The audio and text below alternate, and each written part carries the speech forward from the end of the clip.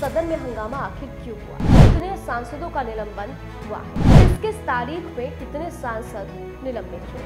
नई संसद का नियम कहता क्या है? इतिहास में पहली बार हुआ है कितने सांसद सदन से निलंबित कर दिए गए हो। क्या विपक्ष की मांग गलत थी? क्या एक उपराष्ट्रपति का मिमिक्री करना, उनकी तरह एक्टिंग करना सही है? उनका मखौल उड़ाना सही है? देख रहा है कि आपने उपराष्ट्रपति का किस तरह से अपमान किया है। 2024 नज़दीक नहीं है। नई संसद के अंदर और नई संसद के बाहर। 19 दिसंबर को क्या हुआ, ये किसी से छिपा नहीं है। लेकिन जो भी हुआ, वो शर्मसार कर देने वाला था। संसद की सुरक्षा में 13 दिसंबर को चूक हुई, जिसको लेकर विपक्षी सांसदों ने जमकर विरोध किया। तख्तियाँ लेकर ये सभी लोग सदन के अंदर पहुँच गए जमकर हंगामा करने लगे और जो वहाँ पर उस वक्त पीठासीन थे, उन तक पहुँचने की कोशिश करते रहे। विरोध तो किया गया, लेकिन नियम के तहत नहीं, संविधान के तहत नहीं, जिसके बाद 14 तारीख से लेकर 19 तारीख तक करीब 141 सांसद दोनों सदनों से निलंबित कर दिए गए, जिसके बाद विपक्षी सांसदों का पारा और ज़्यादा हाई हो गया। और ये सभी सांसद संसद परिसर में जाकर बैठ गए और हंगामा करने लगे। लेकिन ये सब यहाँ नहीं रुका। हद तो तब हो जाती है जब इन्हीं में से एक टीएमसी सांसद, कल्याण बनर्जी पीठासीन और उपराष्ट्रपति जगदीप धनखड़ की मिमिक्री करते हैं और बाकी सांसद उनका उत्साहवर्धन करते नज़र आते हैं, तालियाँ बजाते हुए नज़र आते हैं। इतना ही नहीं, राहुल गांधी सामने से इस पूरे वाक्य का वीडियो बना रहे होते हैं। क्या कोई सांसद देश के उपराष्ट्रपति का इस तरह से अपमान कर सकता है? क्या ये एक सांसद को शोभा देता है, जिसको लाखों लोगों ने संसद के अंदर चुनकर भेजा हो? ये कैसा विरोध है, जिसमें ना सदन की मर्यादा का ख्याल है और ना ही उपराष्ट्रपति पद की गरिमा का एहसास है? देखा जाए तो आज बीजेपी की जो महिला सांसद हैं, जो महिला कार्यकर्ता हैं, वो लगातार विरोध कर रही हैं। उनका कहना है कि उपराष्ट्रपति का अपमान बर्दाश्त नहीं किया जाएगा। जो रवैया विपक्ष अपना रहा है, वो सरासर गलत है और इसका जवाब बहुत जल्द दिया जाएगा। इस तरह की बातें सरकार की तरफ़ से की जा रही है। आज भारत एट नाइन में इसी मामले का विश्लेषण करेंगे। तो बने रहिए हमारे साथ और वीडियो को अंत तक ज़रूर देखें। सबसे पहले बात करते हैं कि सदन में हंगामा आखिर क्यों हुआ? इसके पीछे वजह थी संसद की सुरक्षा में चूक। 13 दिसंबर को जो संसद के अंदर स्मोक अटैक हुआ, उसको लेकर विपक्षी सांसद गृह मंत्री अमित शाह के बयान की मांग कर रहे थे और पुरजोर विरोध प्रदर्शन कर रहे थे। प्रधानमंत्री नरेंद्र मोदी के बयान के बाद भी इन्हें अमित शाह का ही बयान चाहिए था। और इसीलिए ये विरोध कर रहे थे। अब बात करते हैं कि आखिर कितने सांसदों का निलंबन हुआ है। किस किस तारीख में कितने सांसद निलंबित हुए? तारीख 14 दिसंबर, लोकसभा से 13 और राज्यसभा से एक। 18 दिसंबर, लोकसभा से 45 और राज्यसभा से 33 19 दिसंबर लोकसभा से उनचास, राज्यसभा से कोई नहीं। कुल मिलाकर लोकसभा में 107 और राज्यसभा में 34 सांसद निलंबित हुए। यानी कि अब 141 सांसद ऐसे हैं जो संसद के बाहर पहुँच गए हैं। लेकिन इस पर भी विपक्षी दल ये कह रहे हैं कि जब तक एक भी सांसद विपक्ष का अंदर है हम इस मुद्दे को उठाते रहेंगे। अब आखिर इन सांसदों का निलंबन किस आधार पर हुआ? क्योंकि कहा जा रहा है कि इतिहास में पहली बार हुआ है कि इतने सांसद सदन से निलंबित कर दिए गए हों। लेकिन क्या आप जानते हैं कि संसदीय इतिहास में लोकसभा में सबसे बड़ा निलंबन उन्नीस सौ नवासी में हुआ था? सांसद, पूर्व प्रधानमंत्री इंदिरा गांधी की हत्या पर ठक्कर कमीशन की रिपोर्ट को संसद में रखे जाने पर हंगामा कर रहे थे। इस दौरान अध्यक्ष ने तिरसठ सांसदों को निलंबित कर दिया था। निलंबित सदस्यों के साथ अन्य चार सांसद भी सदन से बाहर चले गए थे। तो ये कहना गलत होगा, कितने बड़े पैमाने पर पहली बार सांसद निलंबित किए गए हों। हाँ 141 सांसद सदन के बाहर है, ये पहली बार हुआ है, लेकिन एक साथ तिरसठ सांसद उन्नीस सौ नवासी में भी सदन से बाहर कर दिए गए थे। तो चलिए अब जानते हैं, नई संसद का नियम कहता क्या है। जब आप सदन के अंदर जाते हैं तो नियम क्या कहता है? सबसे पहले बात करते हैं नियम दो सौ छप्पन की। अगर सभापति आवश्यक समझे तो वो सदस्य को निलंबित कर सकता है, जो सभापीठ के अधिकार की अपेक्षा करे, या जो बार बार और जानबूझकर राज्यसभा के कार्य में बाधा डालकर राज्यसभा के नियमों का दुरुपयोग करे। दूसरा पॉइंट ये है कि सभापति सदस्य को राज्य सभा की सेवा से ऐसी अवधि तक निलंबित कर सकता है, जब तक कि सत्र का अवसान नहीं होता या सत्र के कुछ दिनों तक भी ये लागू रह सकता है। अब तीसरा नियम, यानी कि तीसरा पॉइंट क्या कहता है? निलंबन होते ही राज्यसभा या लोकसभा सदस्य को तुरंत सदन से बाहर जाना होगा। राज्यसभा में नियम 255 के तहत निलंबन कैसे होता है, इस पर भी प्रकाश डालना, रोशनी डालना बहुत ज़्यादा ज़रूरी है। अगर सभापति को लगता है कि किसी सदस्य को व्यवहार घोर अव्यवस्थापूर्ण है तो वो उसे राज्यसभा से चले जाने का निर्देश सीधे तौर पर दे सकता है। ये नियम के तहत निलंबन केवल उसी दिन के लिए लागू रहेगा। उसमें उस सदस्य को सदन से बाहर रहना होगा। अब सवाल ये उठता है कि क्या ये निलंबन वापस भी हो सकता है? तो इसका जवाब है हाँ। लेकिन ये भी राज्यसभा के सभापति की मर्ज़ी पर ही होगा। निलंबित सदस्यों के माफ़ी मांगने पर भी इसे वापस लिया जा सकता है। वैसे सस्पेंशन के खिलाफ प्रस्ताव भी सदन में लाया जा सकता है। अगर ये पास हो गया तो निलंबन खुद ब खुद हट जाएगा।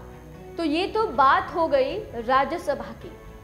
लोकसभा में निलंबन किस आधार पर होता है और क्या नियम कहता है, ये भी जान लेते हैं।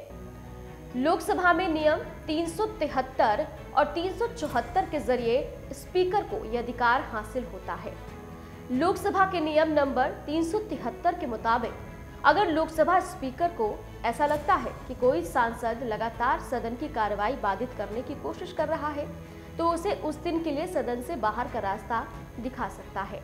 या बाकी बच्चे पूरे सेशन के लिए भी सस्पेंड कर सकता है। इसी नियम के तहत लोकसभा से कांग्रेस के चार सांसदों का निलंबन स्पीकर ओम बिरला ने किया है। अब नियम 374 क्या कहता है? अगर स्पीकर को लगता है कि कोई सदस्य बार बार सदन की कार्रवाई में रुकावट डाल रहा है तो उसे बाकी बचे सेशन के लिए भी सस्पेंड कर सकते हैं। अब राज्यसभा की तरह इसमें भी ये सवाल उठता है, क्या इसे चुनौती दी जा सकती है? तो इसका जवाब है नहीं। इस निलंबन को अदालत में चुनौती नहीं दी जा सकती, क्योंकि ये मामला संसद के अनुशासन से संबंधित होता है और ये न्यायालय के कार्य क्षेत्र में नहीं आता। सांसदों के सस्पेंशन के कुछ चर्चित मामले जिन पर एक बार नज़र डाल लेते हैं। जनवरी 2019 स्पीकर सुमित्रा महाजन ने टीडीपी और एआईएडीएमके के कुल मिलाकर 45 सांसदों को सस्पेंड किया था। फरवरी 2014 सदन में तेलंगाना को अलग राज्य का दर्जा देने या ना देने को लेकर बहस चल रही थी। इसी बीच बवाल करने वाले 18 सांसदों को स्पीकर मीरा कुमार ने सस्पेंड कर दिया था। मार्च उन्नीस सौ नवासी, उस वक्त राजीव गांधी प्रधानमंत्री थे। अनुशासनहीनता के मामले में तिरसठ सांसद निलंबित किए गए थे।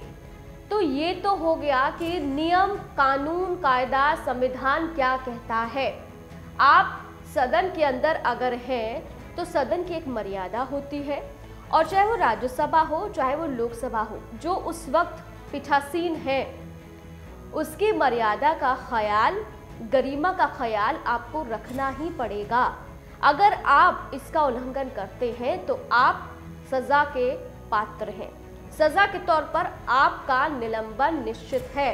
आपको निलंबित कर दिया जाएगा। वो एक दिन के लिए भी हो सकता है, कुछ घंटों के लिए भी हो सकता है, या फिर पूरे सेशन यानी कि पूरे सत्र के दौरान के लिए भी हो सकता है। और इस वक्त, यानी कि 2023 में जो अभी सत्र चल रहा है, इस वक्त कुछ सांसदों के साथ ऐसा ही हुआ है। अब सवाल ये उठता है कि क्या अमित शाह से जवाब मांगना गलत था, जिसकी वजह से इनका सस्पेंशन हुआ। तो इसका जवाब यह है कि सस्पेंशन इस वजह से नहीं हुआ कि वो जवाब मांग रहे थे। सस्पेंशन इस वजह से हुआ है क्योंकि उनका तरीका गलत था।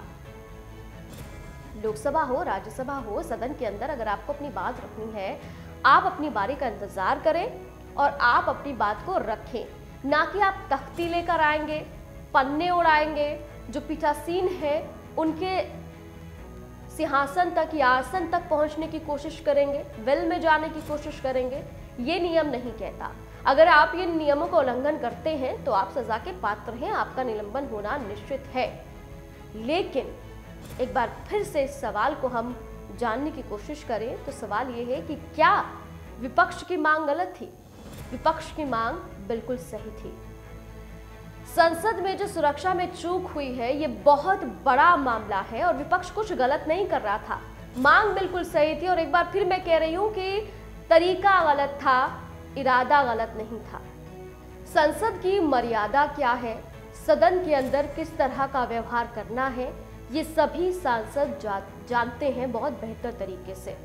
क्योंकि जब भी सदन के अंदर कोई सत्र चल रहा होता है तो आप नियम कानून को पढ़कर उस पर सिग्नेचर कर कर अंदर ही जाते हैं। तो आपको पता है, ये सांसद खुद जानते हैं कि क्या गलत है, क्या सही है, क्या मर्यादा है, क्या संविधान के अधीन है, क्या संविधान के विपरीत है। तो फिर ऐसा क्यों किया गया? क्या ये सांसद जानबूझकर बाहर ही रहना चाहते थे? या फिर देश की जनता का ध्यान कहीं और करने की कोशिश कर रहे थे? ये भी बड़ा सवाल है। तो देश की जनता का ध्यान भटकाने के लिए क्या विपक्ष ने जानबूझकर ये नीति अपनाई है? क्योंकि देखिए, जब सत्र चल रहा होता है, कई बिलों पर चर्चा हो रही होती है तो क्या वो बिल पास ना हो, पारित ना हो पाए? इस वजह से हंगामा किया गया ताकि पूरा विपक्ष बाहर बैठ जाए और समय जो है वो खराब हो।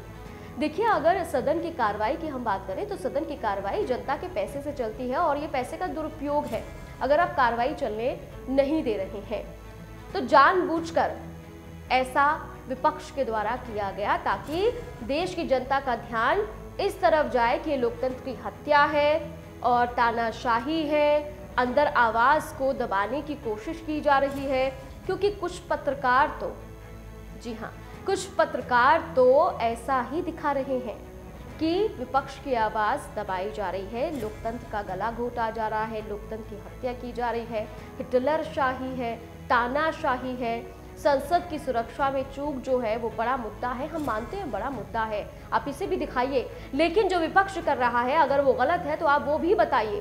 क्या एक उपराष्ट्रपति का मिमिक्री करना, उनकी तरह एक्टिंग करना सही है? उनका मखौल उड़ाना सही है? ये बहुत बड़ा सवाल है। कुछ पत्रकार लेकिन ऐसे ही कर रहे हैं। सांसद आखिर क्यों निकाले गए? ये जवाब ये पत्रकार नहीं देंगे। ये बिल्कुल नहीं बताएँगे, ये सिर्फ़ ये बताएँगे कि लोकतंत्र की हत्या है, विपक्ष को बोलने नहीं दिया जा रहा है, जनता की आवाज़ विपक्ष है जिसे दबाने की कोशिश की जा रही है। लेकिन ये नहीं बताएँगे कि आखिर इसके पीछे नियम क्या है और क्यों ये निकाले गए हैं, इन्होंने क्या किया और नियम के तहत ये आता है या नहीं आता है। अब इसे हम कैसे समझ सकते हैं? एक उदाहरण है। उदाहरण ये है कि जब स्कूल में, क्लास में कुछ बच्चे ऐसे होते हैं जो जानबूझकर शैतानियाँ कर रहे होते हैं।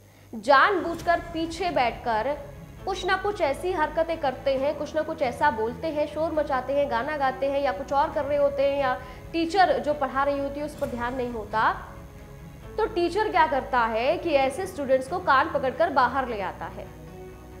अब टीचर को लगता है कि मैंने तो सज़ा दी है, लेकिन स्टूडेंट्स के लिए वो सज़ा नहीं, मज़ा होता है। क्योंकि वो चाहते ही यही थे कि टीचर उन्हें बाहर निकाल दे, क्योंकि उन्होंने पढ़ना ही नहीं था। उन्हें टीचर की बात सुननी ही नहीं थी, उन्हें टीचर का लेक्चर सुनना ही नहीं था। कुछ ऐसा ही ये सांसद कर रहे हैं।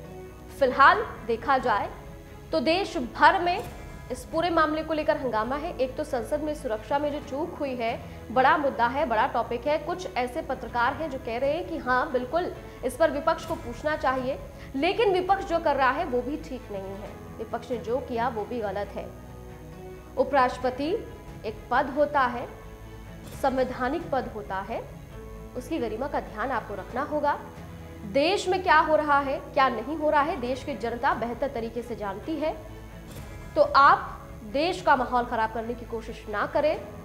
और साथ ही साथ, अगर आपको वाकई जनता की आवाज़ उठानी है तो उन बिलों को सुने, ताकि आपको पता चल पाए उन बिलों में आम जनता के लिए क्या है, क्या नहीं है।